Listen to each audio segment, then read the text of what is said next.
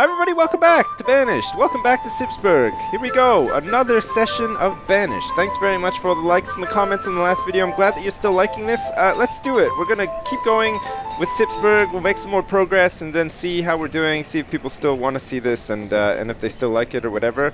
Great. All right, uh, we have quite a bit of food. It looks like we have a lot of firewood, we have a lot of logs, we have a lot of stone, we have a lot of iron, and we have a lot of coats and no tools. What the hell is going on with the tools? What is the situation with the tools right now? I think uh, we're making more uh, because it looks like we have uh, 59 iron tools out of the 60 required in the in the trading uh, post at the moment. Uh, as soon as uh, whoever the blacksmith is, who, who is the current blacksmith of today? Is there blacksmith around here anywhere? Blacksmith, hello? Coletta. Coletta, the 49-year-old woman, uh, has decided to become the blacksmith. Uh, she's got everything that she needs to make these iron tools, uh, but no iron tools are being made, and also I'm finding it impossible to actually close this window. Great. Coletta is going to buy some iron, I'm hoping from the market. She's taking a bit of a shortcut through the field in between these houses, which is a big no-no. Uh, the uh, actual foot traffic that occurs from doing this kind of thing is going to almost make like a, its own shitty dirt path. I don't know if you've ever seen that in real life before, but when a lot of people walk on a certain patch of grass to go a certain way, it makes like a makeshift shitty muddy road. Uh, and we don't want any of that in Sipsburgh. We want to keep this town pristine, Coletta. You degenerate. Jesus. Uh, it looks like Windell has become a student. A child named Luella May was born. Uh, McKaylee has become a student, whoever that is. And, and Jeanette has also become a student. We now have 8 students and 14 babies. 43 people. Uh, we're going to have to think about potentially getting um, yet more food. I think we've got uh, enough farms now to cover everything. Nelly has become an adult and is working as, as a laborer. That's good. Uh, maybe we'll add uh, her as a farmer. Nelly, or is it a guy? Can't even remember.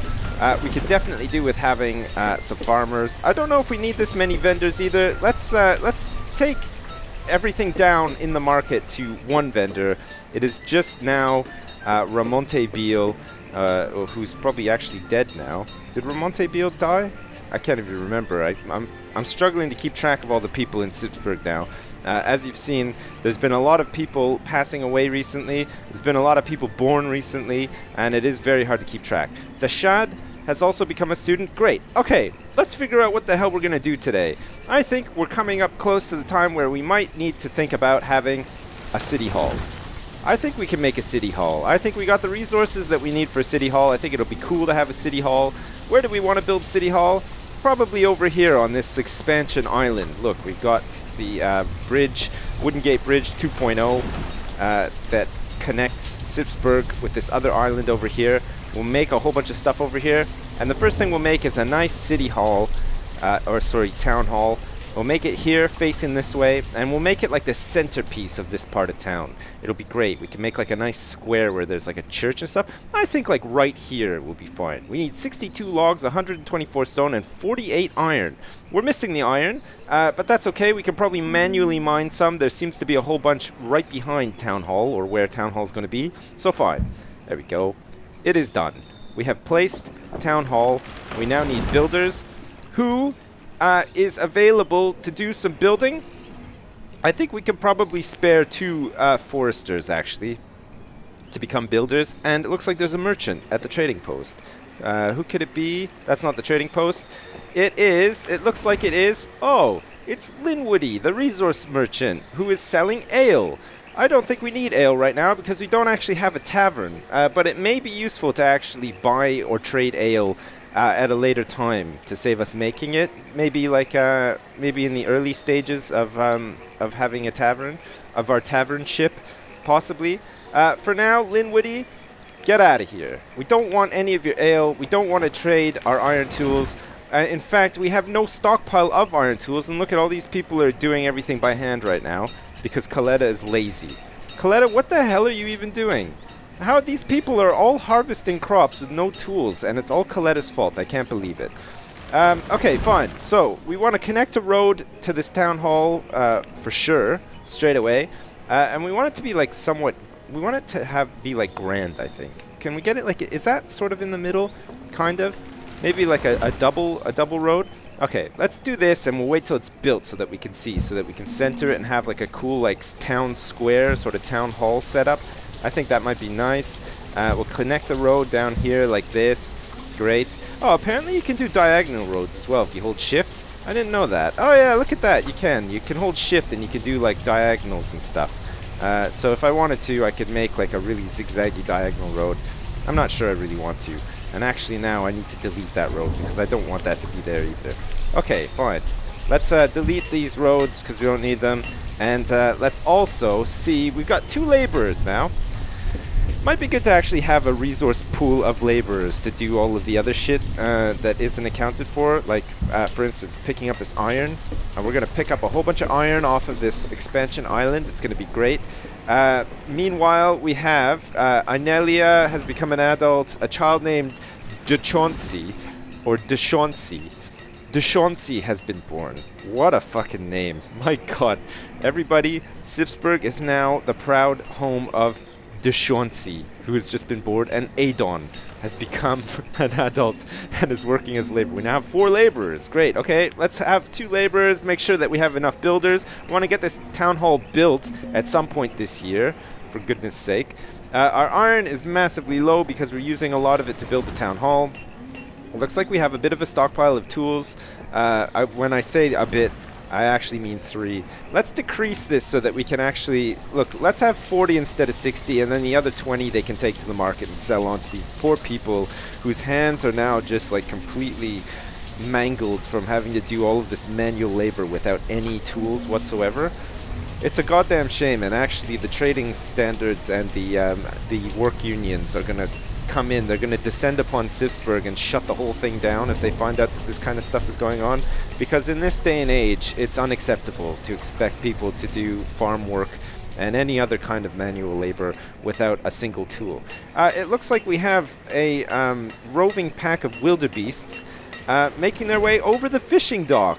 What a sight for the fishermen this morning. They wake up, they come out to do their usual fishing, and they just find uh, an entire pack of deer uh, on the dock, sort of swimming, getting up on the dock after a morning swim, and then making their way uh, into Sipsburgh.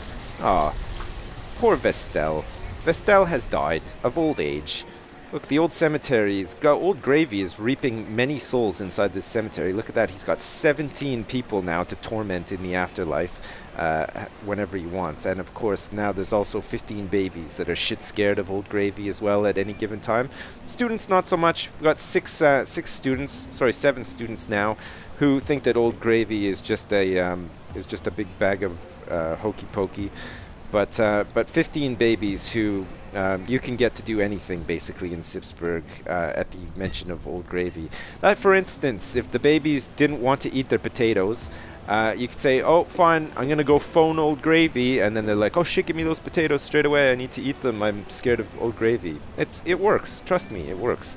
A as a dad, myself, I know what works with kids. I'm not saying do it, but I'm just saying it does actually work.